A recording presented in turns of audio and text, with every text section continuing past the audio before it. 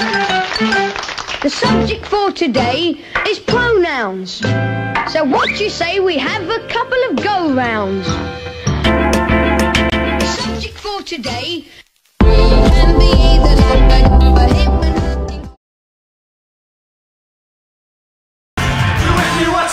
but